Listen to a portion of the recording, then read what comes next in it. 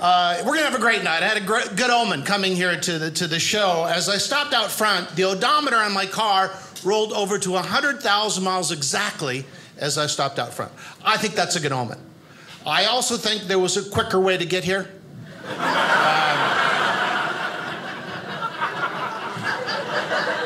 got to see a lot of Canada, so. Um, I love Canada, very friendly country, Canada. Its national anthem says everything a maple leaf, tree, shade, pastoral, peaceful. National anthem of the United States, an eagle, a hunter, a raptor. Don't mess with the United States, we'll swoop down and rip you apart. mess with Canada? We'll plug your gutters, eh?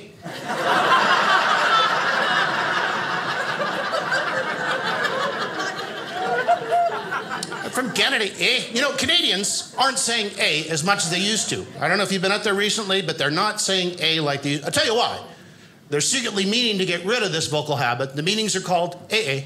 and,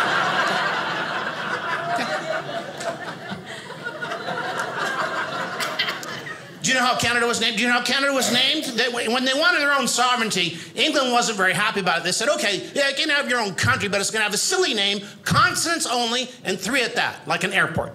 And they had a local official with a hat with nothing but consonants in it. And they said, now you reach in there and announce what you pull out. Whatever he says, you write down. That'll be the name of your silly little country, big country. So he reaches in and he goes, C, eh? N, eh? D, eh? Did you get that? That's how Canada was named. I should mention, uh, ladies and gentlemen, before I begin my show, that I am a member of Mensa. Uh, that society had to have an IQ of 148 or better to get in. Myself and a buddy share a membership. Um, but, but, I'm confused. Technology, you know, I, I rented a, a car the other day and it had all the latest bells and whistles. You know, I, as I approached the car, I pushed a button and the lights came on on the key fob. I pushed another button on the key fob and the car started. For a moment, I thought it was going to leave without me. they, you're a great laugher, sir. Thanks for sitting up front. Uh, You know, they have self driving cars now. They drive all by themselves. How low would you feel if you were hitchhiking and a self driving car passed you by? Just.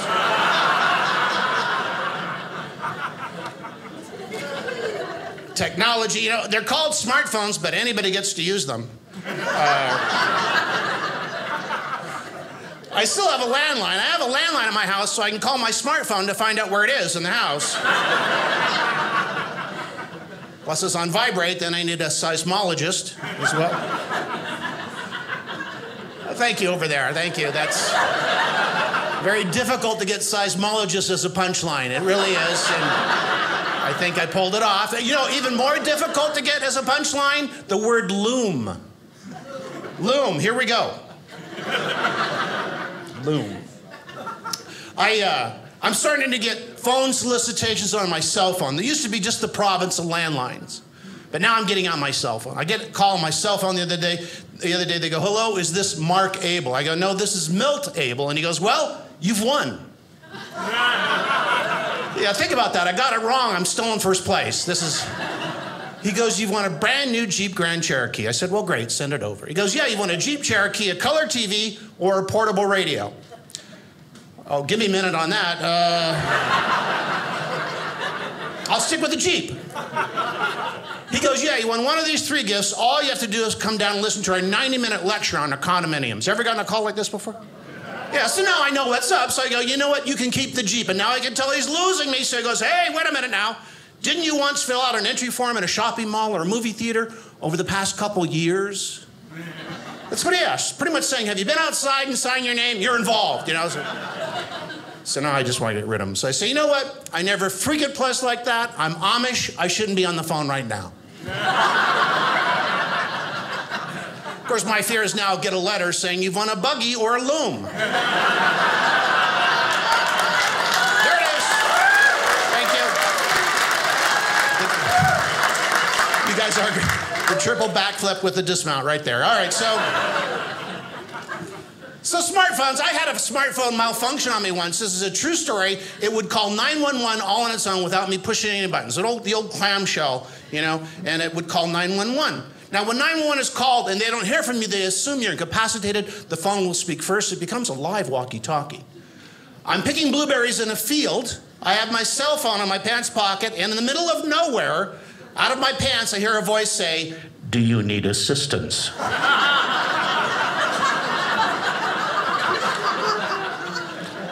And my first thought was, these aren't my pants.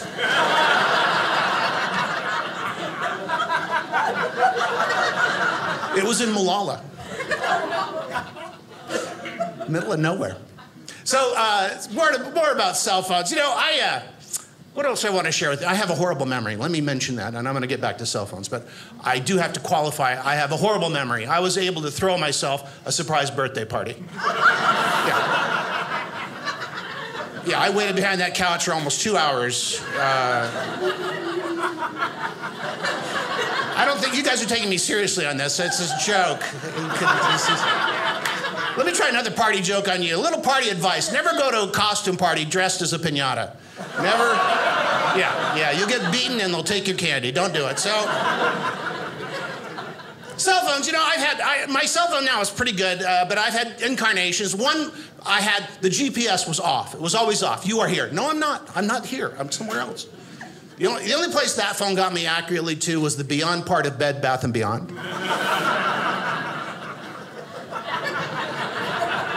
Am I going too fast? Is that the story here? Am I? The, uh, you know, and, and now, of course, uh, I have a great phone, but the autocorrect on the texting is a problem. You all know what I'm talking about. Yes, yes. It always get, it guesses at what you're trying to say. It doesn't really, it's not accurate. It's like talking to someone who's hard of hearing. You know? Let's meet at three. You want to meet in a tree? No, I don't want to meet in a tree. If my smartphone's autocorrect was entered into a spelling bee, it would come in list.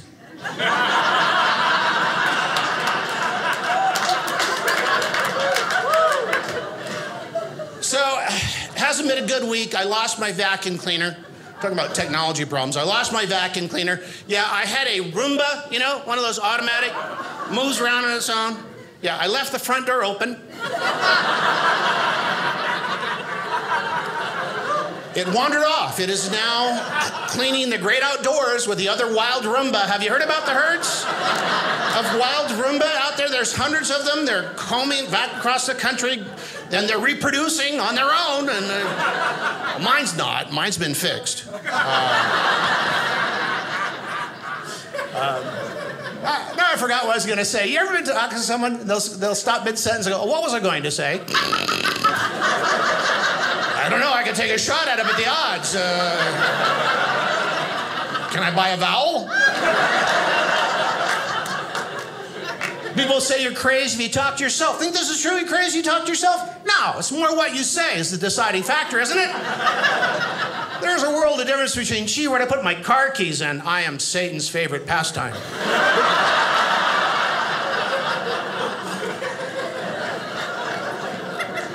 People say you're crazy if you answer yourself. Well, maybe so.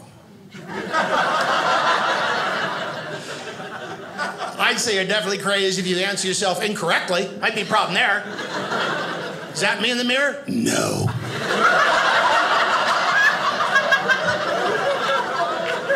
Who are you? Who are you? I'm sorry I brought it up. Speaking of who are you, I did a real wild private party last month. I did a, I do a lot of corporate entertainment. I did a real wild private party last month. It was a company picnic for the Witness Protection Program. Uh, everybody had name tags on, but there's nothing written on them. I made the mistake of asking, who made the potato salad? We don't know. so some personal news. Uh, recently divorced. Uh, wasn't my idea. Uh, apparently, my marriage had an expiration date. They're difficult to find. It was apparently underneath the toilet seat. Had I left the seat down, uh, she might not have found it. Um,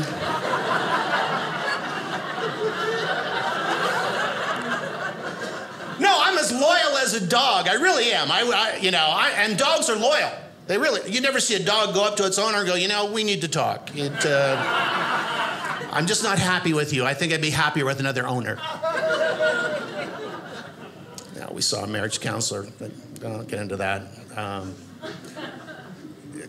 anyway, the marriage, the marriage didn't work. We argued a lot. We argued a lot. And a long argument with my wife was a lot like watching a fireworks show.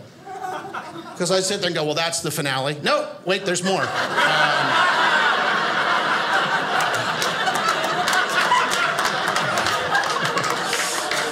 Wow, look at the colors. It goes with the music and everything. This is uh, outstanding. This is probably your best production. Um, we argued a lot in the car. When I was driving, my wife was to my side as my navigator. Uh, much deeper laugh. Not the girls on that one. Uh, ladies, women.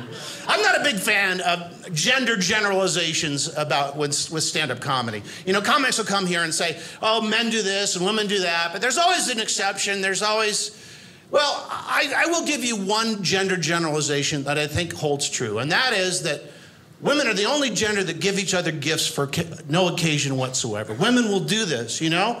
I thought it was perfect for you, wanted you to have it. Never see another give it, never see a guy give another guy, go ahead, Bob, open it.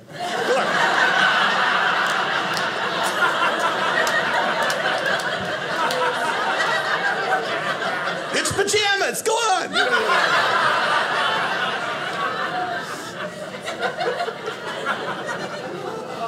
We argued a lot about the kids. My wife, ex-wife, keep forgetting to cross her out.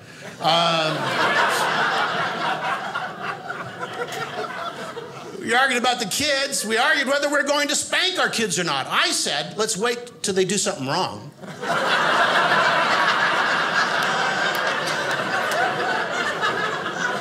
That's a workable timetable, isn't it? Yeah, boy. And if you, by the way, new parents out there, don't have dad do all the spanking when you, your kids are in trouble. You know, it wasn't fair. When I was a kid, my father did all the spanking, made me hate and fear my father. I'd get in trouble, my mom would say, wait until your father gets home. I go, no, I got a flight to Paris. I'm not going. it wasn't fair to my dad. He'd come home and say, hi, son, seen you all day. Gotta beat you. you still love me, don't you? Oh, I cherish every visit, you bet. Where is the logic in this when parents just say, hey, you could have hurt yourself? Don't ever do that again. well, thanks for taking the chance out of it.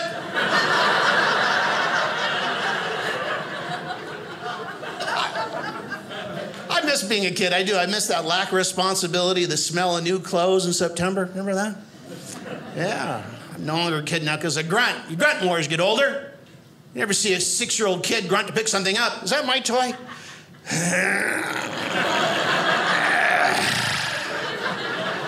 Never dropping that again. Geez, I think I pulled a muscle playing tag this morning. I got to remember to warm up. I'm not five anymore. Kids have great stuff for breakfast. Captain Crunch. How many Captain Crunch fans in our audience? Yeah, yeah. What kind do you like? Peanut butter for the protein? Yeah, cap, and then there's crunch berries for the vitamins, and then regular Captain Crunch for the fiber. It's a whole diet regimen. Has uh, anybody tried it recently? It rips roof of your mouth apart. If it's not done right, you can die from it. It's a lot like puffer fish. I had Captain Crunch. I was at the hospital in an hour. I've been Kappa Crump. And the roof of my mouth is just ripped the heck. Their skin dangling from roof of... me speak to you. I want to speak to you. The guy that pays you, go get him. Doctor comes up. Yes, I'm Dr. Smith. Is there a pop? Did I interrupt your breakfast? Well, yes, you did.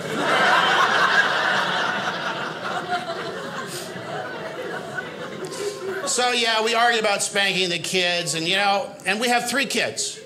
We have three children. Uh, we have hundreds of photos of our first child dozens and dozens of our second, just a handful of our third.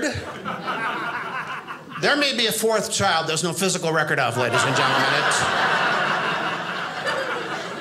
It, it changes, doesn't it? I know we have a lot of moms and dads out there. You know, Our first child, we brought her home from the hospital. We waited two weeks before we took her anywhere out in the world world where all those germs awaited. Our second child, just a matter of a couple days, took him on a stroll around the block. Our third child, we swung by Home Depot on the way home from the hospital. we needed more of those outlet covers. The kids had chewed through the ones we had plugged in the wall. Our first child, when she dropped her pacifier, we'd scoop it up and boil it for 30 minutes because it touched the ground. Well, you learn, don't you, parents? Second child, just run a hot water a minute. By the third child to drop pacifier, I just pick it up, put it in my mouth. There, I got to do that for you. It's ready to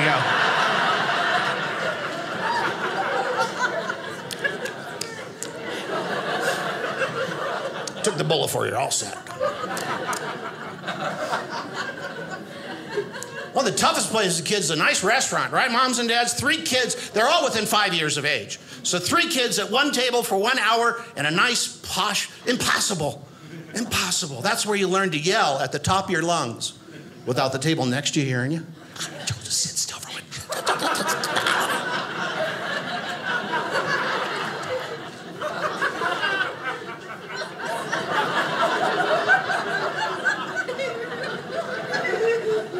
And as much work as kids were, I gained weight as soon as I became a dad. You know why I gained weight as soon as I became a dad? You didn't finish that meal?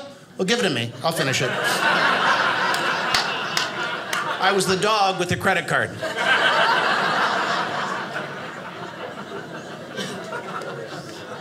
Trying to lose weight. Uh, started a new diet. Got to give up something. Always got to give up something. I'm giving up uh, mirrors and scales. No, I'm, t- you know, and uh, well, I have a theory why we're an overweight society. We are an overweight society, and one of the reasons is we don't have to chase our food anymore. Thank you for just getting the concept. The, uh, well, you know, we used to burn a lot of calories getting dinner on the table. I think there should be grocery stores for dieters where food can run away at pace was alive. Little package of chicken on a railing, like at a dog race.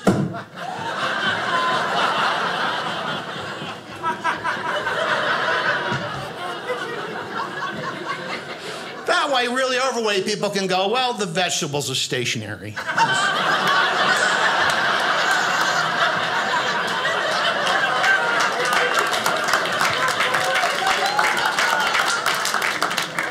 Instead of asking what's on special, anything weak or slow today? Got a, got a bad wheel.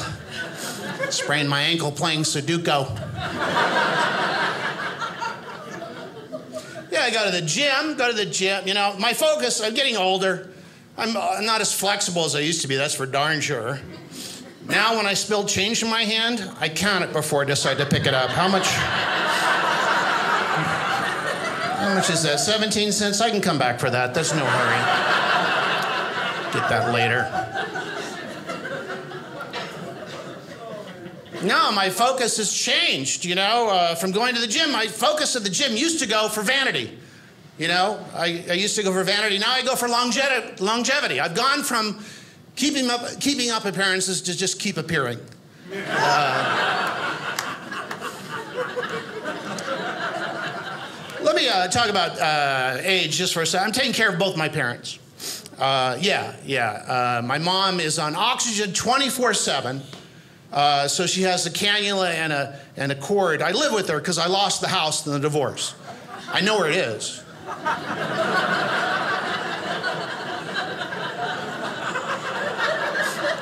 Okay, let's go to the next one. Uh, so, so she's on oxygen 24 7. She has, everywhere she goes, she has a cord to the base station. And, you know, I live with her. We played hide and go seek once. Uh, there you are again, Mom. Found you right away. Uh, yeah, every time. Yeah. But she has Alzheimer's, so we can play over and over. And, uh, my dad is a loud talker. He's a very loud talker. Have you met him, Ariana? Have you met my dad? And he is a loud talker, isn't he? Yeah, I have a friend from the family here, and he's a very loud talker. I'll be talking to him on the cell phone, and people around me be going, "Take him off speakerphone." He is off speakerphone. He's that loud. But he got a TV recently, and I'm trying to explain to him how to use the TV over the phone. He lives in another city. So I'm trying to explain over the phone how to use a remote control. It's like playing Pictionary from another room, ladies and gentlemen. Just. And remote controls are so complicated now, aren't they? You used to just turn on and off the TV, that was it, maybe change the channel. Now you can launch a strike to Syria with one of these things if you want to. So I'm trying to explain to him over the phone, and he's not the best at describing things. Well, the thingy has changed now. Now there's a different thingy. And now, well, what thingy are you talking? And so he goes on and on with thingy, he uses thingy so much that thingy doesn't mean a thing. but we got the we got the TV on, it's the Spanish Weather Channel, subtitled in Spanish. So whenever I call him, I'll go, "How you doing, Dad? Estoy frío." Okay. So dating now, dating at my age. at my age, you don't date; you interview for position. At my age, people are set in their ways. They really are trying these trying these dating apps. Grindr I found very frustrating. Uh,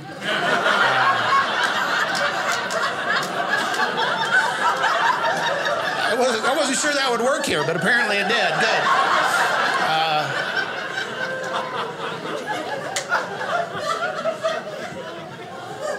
Tinder, now Tinder's very interesting. Tinder is pretty much uh, based on a one night stand, to my understanding. I have I mean, I don't use it uh, because I'm used to obstacles, so I use an app called Hinder.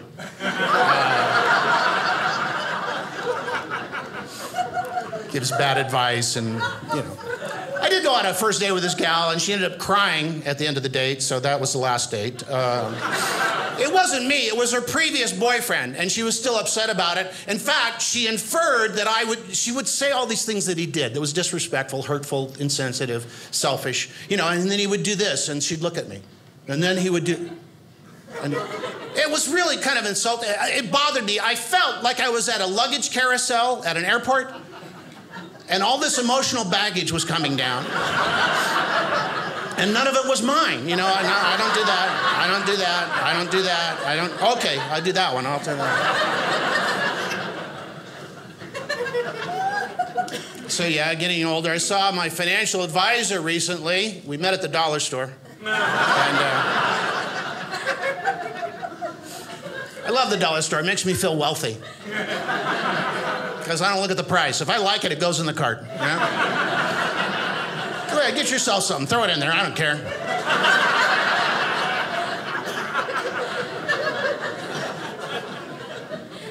But I saw my financial advisor and we discussed my retirement. I asked him, I said, What do I need to do to live at my present lifestyle till the end of my days? And he said, You need to die suddenly. What?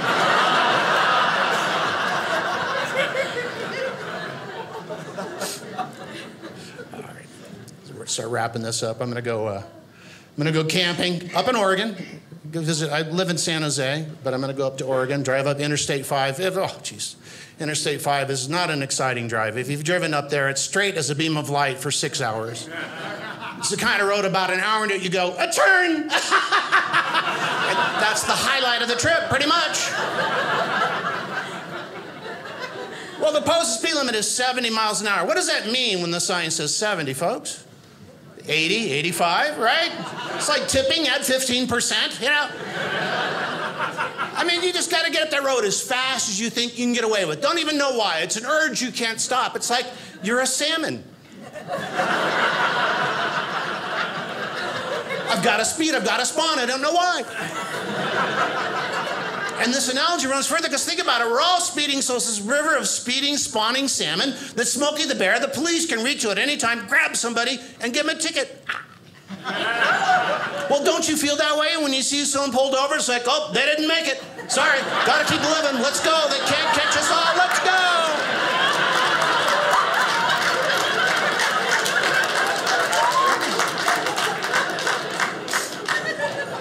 Yeah, I'm gonna go camping. I'm not a good camper. I tend to overpack. Office equipment? Well, I'd rather have a three hole punch and not want it.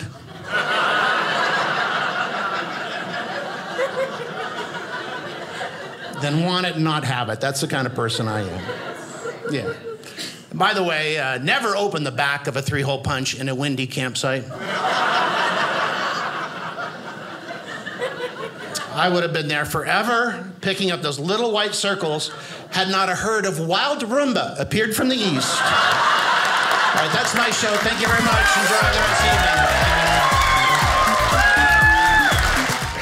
evening. Well, that didn't suck, did it? Wasn't that fun? Thanks for watching my show. Um, this we have a call to action here at Dry Bar, and that is you can see down here there are buttons. You can actually support the arts, become a patron of the arts, and tip me for that show you just saw. And I'd like you to do that. Uh, in fact, uh, so much so I've changed my name to a 501c so you can write it off. So please, uh, if you enjoyed the show, tip and support the comedy, support me, uh, and keep supporting Dry Bar Comedy.